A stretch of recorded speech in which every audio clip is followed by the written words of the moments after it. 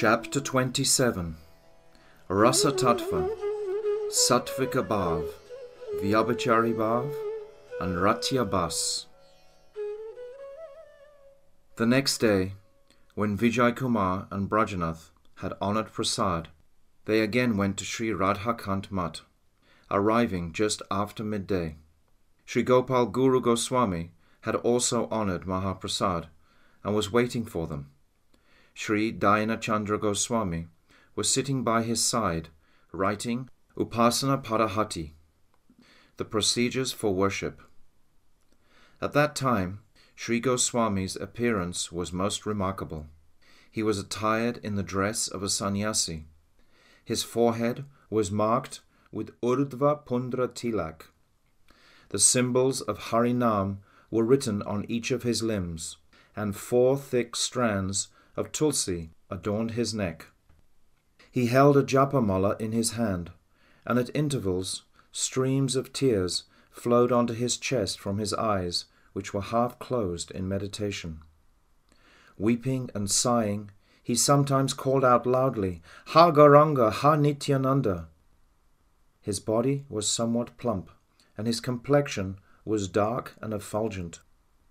His coconut shell cup, full of water, was standing close to the seat of banana tree bark on which he was sitting, while his two wooden sandals lay at a distance. When Vijay and Brajanath saw all this, unprecedented Shraddha arose within their hearts. They both offered their sastang pranam and remained lying on the ground for a long time. The residents of the Mat generally respected Vijay and Brajanath having seen their Vaishnava qualities and their scholarship and profound understanding of many Shastras, and also knowing them to be residents of Sri Navadvip Dham. Today, however, all were especially struck with wonder on seeing such ideal Vaishnava sentiments. When Guru Goswami saw them lying down and offering pranam in this way, he lifted them up, embraced them lovingly, and made them sit down close to him. Brajanath waited for an appropriate moment and then gradually and politely raised the subject of rasa. Sri Goswami began to speak, his heart filled with prem.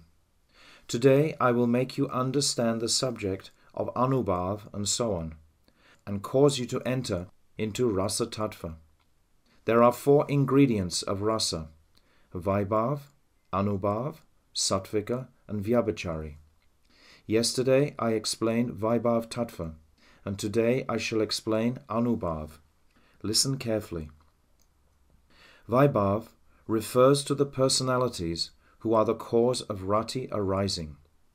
Now, Anubhav refers to those visible symptoms that cause rati to become evident, and by which the bhavs in the heart are realized. In other words, Anubhav consists of activities such as sidelong glances and hairs of the body standing on end, which are manifest as external bodily transformations, but which actually reveal the bhavs of the heart. These internal bhavs are revealed by the following outward expressions of agitation dancing, nitya, rolling on the ground, viluntana, singing, gita, crying out loudly, kroshana, stretching the body and writhing, tanumotana, roaring, hunkara, yawning, drimbanu, sighing and breathing deeply, dirga shwasa, indifference to public opinion, lokana pekshita, salivering, lalashrava, laughing loudly, atahasa, dizziness, gurna, and hiccuping, hikar. Brajanath, how can these external transformations nourish the tasting of rasa of the internal staibhav? I also have another question. At the time of tasting rasa internally, these anubhavs are manifested externally in the body. So how can they be separate and distinct ingredients of rasa? Goswami, Baba, you are indeed a real pundit of Nyaya Shastra. To this very day, no one has posed such subtle questions as you have. When I used to study Rasa Shastra in the company of Sri Pandit Goswami, exactly the same arguments would arise in my mind. However, my doubts were quickly dispelled by Sri Gurudev's mercy.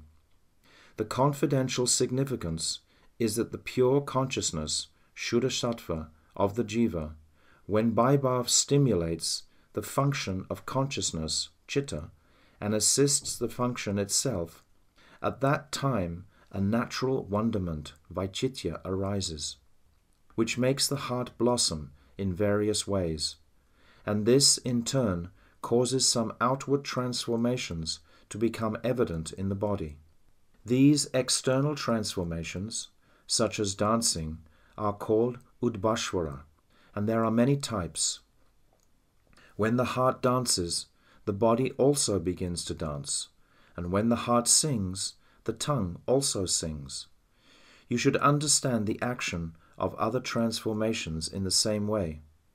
However, the action of Udbhashvara is not the original action. Rather, the anubhavs that arise and nourish the vaibhavs then spread throughout the body in the form of Udbhashvara. As soon as the Staibhav in the heart is stimulated by the Vaibhav, Anubhav begins its function as another action of the heart. Thus, Anubhav is a separate individual ingredient. When this is revealed through activities such as singing, it is called cooling, shita, and when it is revealed through activities such as dancing, it is called throwing, shapana.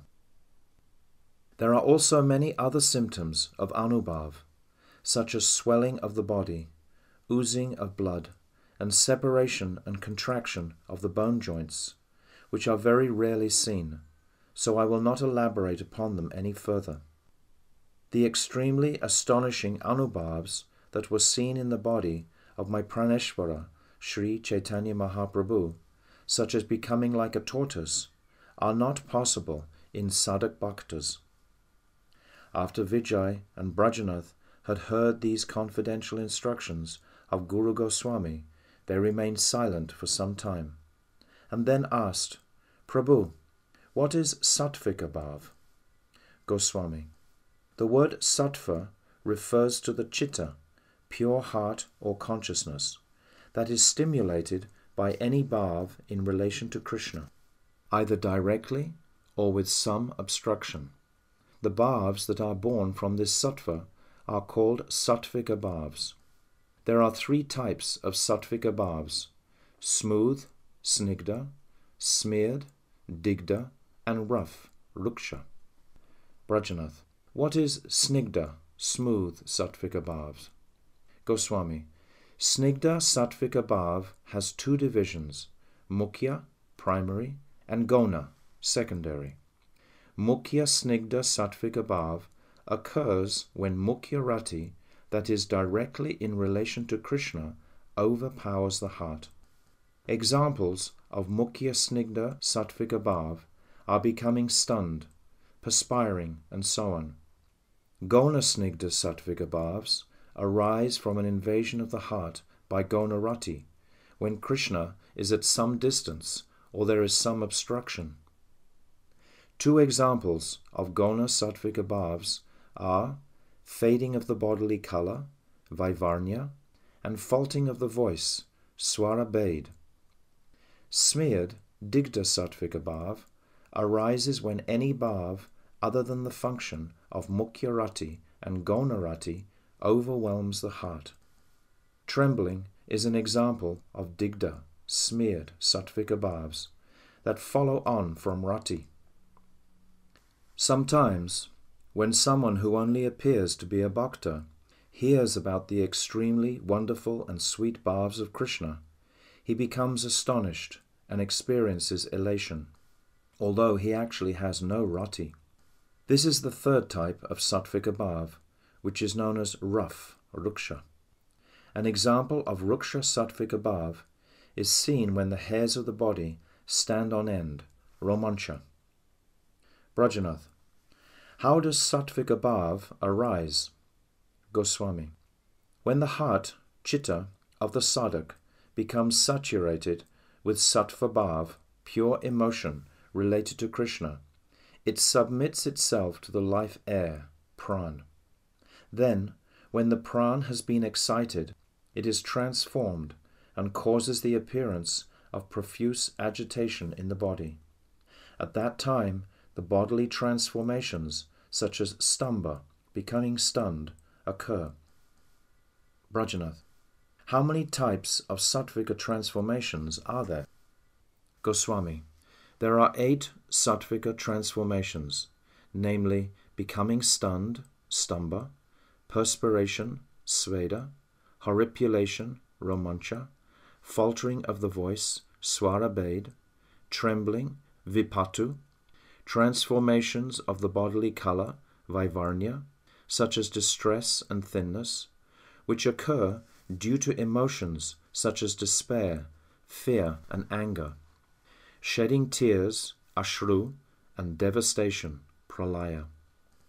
Under some circumstances, the life air, pran, remains as the fifth element, air, along with the other four elements, earth, water, fire, and sky. However, sometimes when it predominates, that is, when it situates itself in the air, vayu, element, it travels throughout the body of the jiva. When pran comes in contact with the earth element, inertness, stamba, occurs. When it takes shelter of the water element, tears, ashru, appear. When it is situated in the fire element, change in bodily color, Vivarnya, and perspiring, Sveda, are evident. When pran takes shelter of the sky element, loss of consciousness or devastation, pralaya, occurs. And when pran is self dominating and takes shelter of the air element, the transformed conditions of horripilation, romancha, trembling, vipatu, and faltering of the voice, swara are manifested depending on whether the degree of strength of pran is mild, moderate, or intense, respectively. Since these eight transformations are active both internally and externally, they are sometimes called bhav and sometimes anubhav. However, the anubhavs, such as dancing, rolling on the ground, and singing, are not considered the same as bhavs, because they are only active in the outer body. The Anubhav activities, such as dancing, are not the results of bhav arising from sattva, that is, sattvika bhav. Rather, the activity is instigated by the application of intelligence. However, in transformations, such as becoming stunned, sattvika bhav acts directly without relying on the intelligence. For this reason, Anubhav and Sattvika Bhav are considered to be separate and distinct ingredients. Brajanath, I would like to know the cause of Ashtasattvika transformations, such as stamba, becoming stunned. Goswami. Stamba is a state in which one becomes inert without speaking or having any other activity, and it is caused by jubilation, fear, astonishment, dejection, regret, anger, and weariness. Sveda, perspiration, is moistness of the body, caused by jubilation, fear, anger, and so on. Romancha, standing of the bodily hairs, arises from astonishment, jubilation, enthusiasm, and fear. Swara faltering of the voice, occurs due to despair, wonder, anger, jubilation, and fear. Vipatu, trembling, is caused by fear, anger, jubilation, and so on. Vivarnya, change in bodily color, is due to emotions such as despair, anger, and fear. Ashru, tears, come from the eyes through the influence of jubilation, anger, despair, and other emotions. Tears of joy are cool, whereas tears of anger are warm. In the state of pralaya, devastation, one is bereft of activity and knowledge, and he becomes senseless and falls on the ground. This may be due to happiness or distress. There are four types of sattvika bhavs, corresponding to progressive gradations of sattva, purity. These are called smoking, dhumayita, alight, jvalita, and burning, dipta, and blazing, pradipta. The ruksha, rough sattvika bhavs, are generally dhumayita, smoking, whereas the snigdha, smooth sattvika bhavs, gradually reach the higher stages. Rati is the cause of all astonishing anand, and in its absence there is no wonderment in the ruksha sattvika bhavs and other emotions. Brajanath. Prabhu, sattvika bhavs arise by extreme good fortune, but many people make a show of these bhavs when they are playing a role in a drama or to accomplish their own tasks in worldly life. What may be said about the bhavs of such people? Goswami. Sattvika bhavs that manifest naturally as one performs sadhan of sincere and pure bhakti are Vaishnava bhavs. Apart from these, whatever emotional symptoms appear can be divided into four categories the semblance of rati, ratyabhas, the semblance of sattvika bhavs, sattvabhas, symptoms that do not arise from sattva, nisattva, and averse or contrary symptoms, pratipa. Brajanath, what is ratyabhas, the semblance of rati? Goswami, ratyabhas occurs in those who desire liberation. It arises in the impersonalist sannyasis of the Sankara Sampradaya when they hear discussions about the pastimes of Krishna. Brajanath, what is sattvabhas, the semblance of sattvika bhavs? Goswami, Sattvabhas is the semblance of joy and astonishment that arises in those whose hearts naturally give rise to loose emotions. For example, the adherents of Jaran Mimamsa and ordinary women when they hear Krishna Katha. Brajanath, what is Nisattva, the semblance of bhav that does not arise from sattva? Goswami, Nisattva refers to symptoms such as horripilation and tears that are exhibited by people whose minds are naturally duplicit, and who practice them for the sake of a dramatic performance or in order to accomplish a material objective. Some people are actually hard hearted, but they are so practiced that they can begin to weep in an instant, as if they were genuinely crying. However, their crying is completely pretentious and they are said to be slippery minded. Brajanath. What are adverse and contrary symptoms? Pratipa. Goswami. Pratipa bhav abhas is the semblance of bhav that occurs because of anger, fear, and other emotions resulting from activities that are unfavorable towards Krishna. Kamsa and Shishupal are obvious examples. Brajanath. Prabhu, we have understood Vaibhav, Anubhav, and Sattvika Bhav, as well as the difference between Sattvika Bhav and Anubhav. Now please describe the Vyabhichari Bhavs. Goswami, there are 33 Vyabhichari Bhavs. V means distinctly, Abhi means towards, and Chari means moving. These 33 bhavs are called Vyabhichari because they move distinctly towards the Staibhav. They are also called Sanchari Bhavs because they are communicated through words, limbs, and sattva, and thus travel, sancharita, throughout the system. They are like waves in the nectar ocean of the Staibhav, for they rise up, causing it to swell, and then they merge back into the ocean again. The 33 Sanchari Bhavs are 1. Regret or indifference, nirveda. 2. Despair, visad. 3. Humility, dainya. 4. Physical and mental debility, glani. 5. Fatigue, shrama. 6. Intoxication, Mada.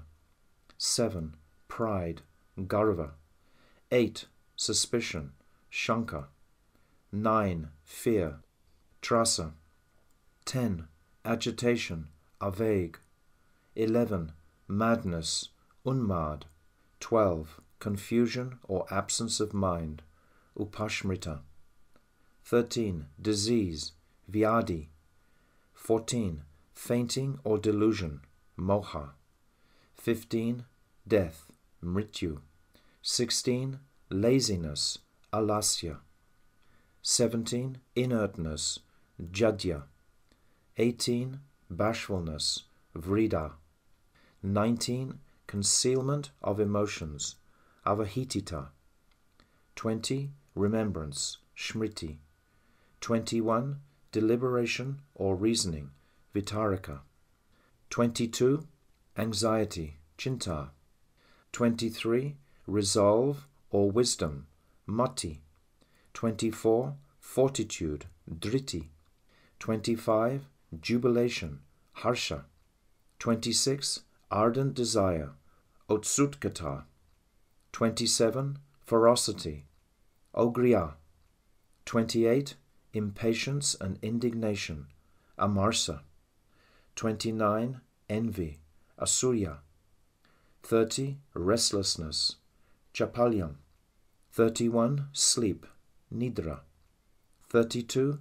Deep sleep, Supti. 33. Awakening, Bodha. Some Sanchari bhavs are independent, Swatantra, and some are dependent, Paratantra. There are two types of dependent Sanchari bhavs superior, Vara, and inferior, Avara. The superior category is also divided into two types, namely direct, Sakshat, and separated or secondary, Vyavahita. The dependent Sanchari bhavs are divided into three types those that are devoid of rati, rati sunya, subsequently contracting rati, rati anuparsana, and having a trace of rati, rati ganda. When these bhavs appear in people who are averse to Krishna, or are perceived in inappropriate people or things, they are divided into two categories, namely unfavorable, pratikulya, and improper, anochitya.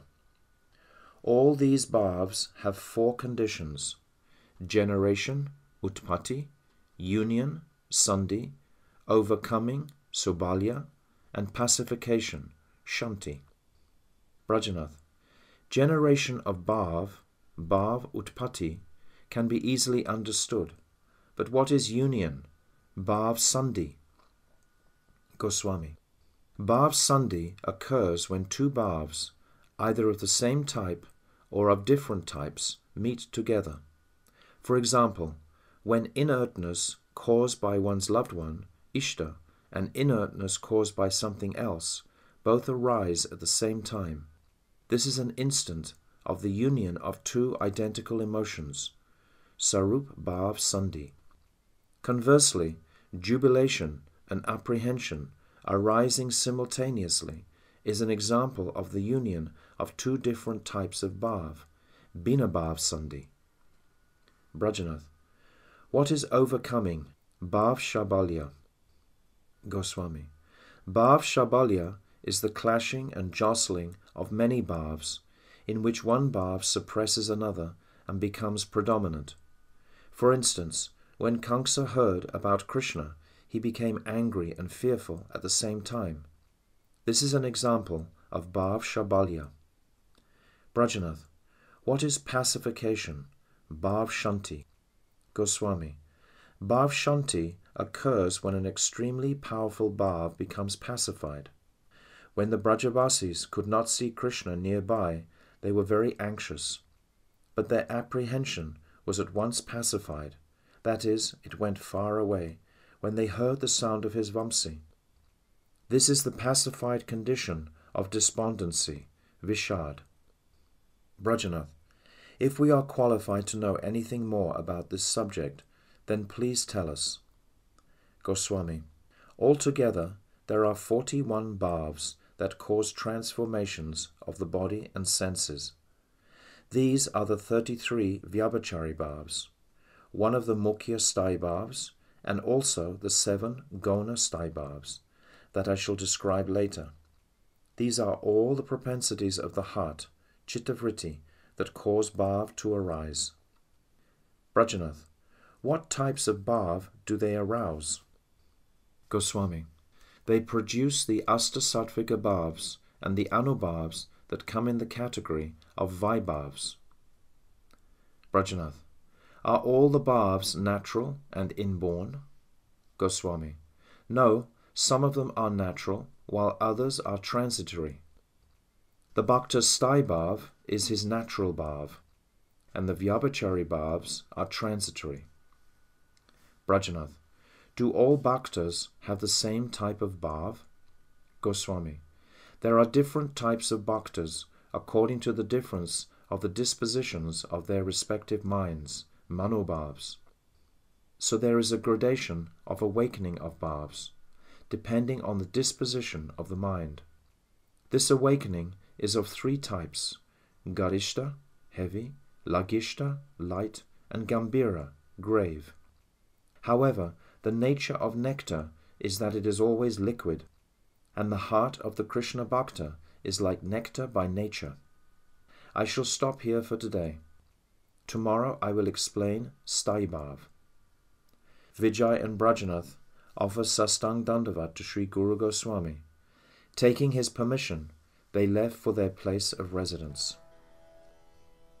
Thus ends the 27th chapter of Jaiva Dharma entitled Rasa Tattva, Sattvika Bhav, Vyabhichari Bhav, and Ratyabhas.